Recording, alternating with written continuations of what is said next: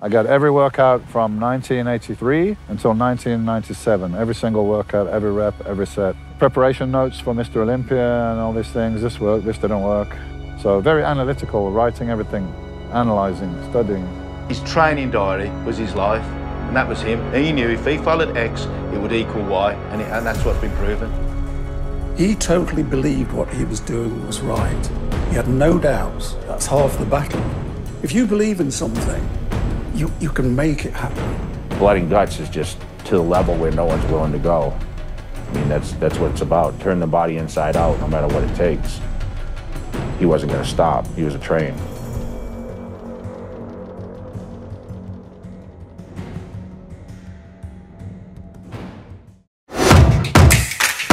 I was never going to be a men's physique. Didn't have much of an off season. I like his physique better. I'm always very energetic. I will have to put me as one of the greatest. Mr. Olympia was won by the back.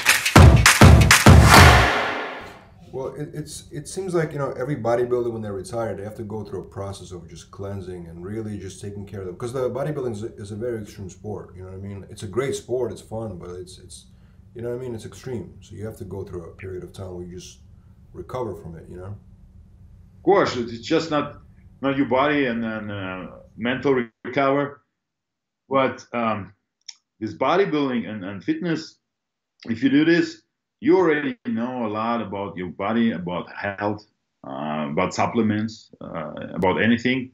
And um, if you do this professionally, or you know what to do, or you you know what you're doing, uh, like that, then of course um, there's a there's a time that you have to go through this. It's it's uh, it's hard, but um, over the years you take a lot of supplements, I would say, and then you just cannot go out of it and just not doing anything because that's gonna cause a lot of problems, head heart issues, everything. So and that's why that's why um, I went to a doctor just to do this. I, I checked everything already, like last year, everything is healthy. Only thing I didn't check yet is my heart, uh, but I feel great. So, um, but to in, in order to feel great, um, you know, to to be able to go through your day and everything, you need to watch your testosterone, and that's what most of the people don't understand. Even the people who don't train or you know with older a little bit, you know. It's very so important. it's very important, of course. yes, yes, very important. It's uh, for for a man health of a man's health. It's the most important thing.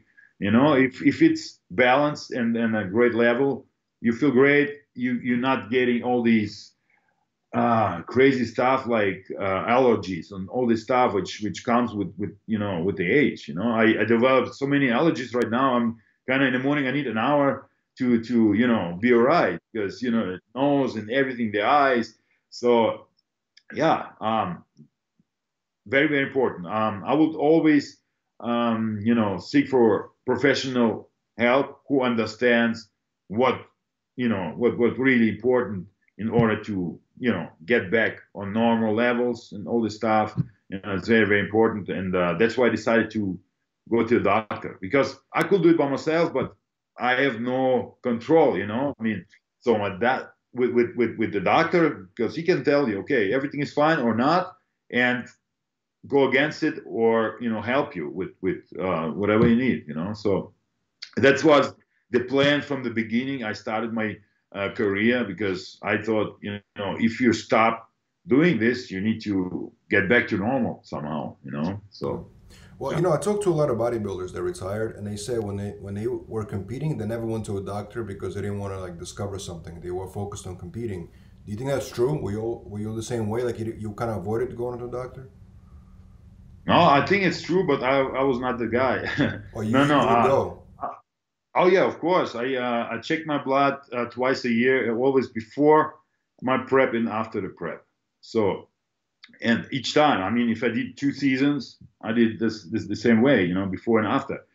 But yes, I uh, I understand, and I heard a lot of the same stories that most of them don't go because they think if they figure something out, you know, something wrong is going on, they yeah, that's end of the world for them. But I think if you figure out it early enough, you can, you know, work on it and, and uh, you know, get get old medicine or whatever. I mean, And also, it's not just oh to figure out oh what's wrong with me, but yeah, yeah, like keeping it under control. I think is most important. If you just stay like uh, going to the doctor like every three months, I mean, there's no chance that something um, it's it's unseen or whatever. So they always gonna see something uh, is going on or not. So I think it's more important to prevent all this stuff, not just oh doing like 10 years something bad or thinking doing something bad and then you know uh, uh, trying you know not to go to the doctor in case the, you see something you know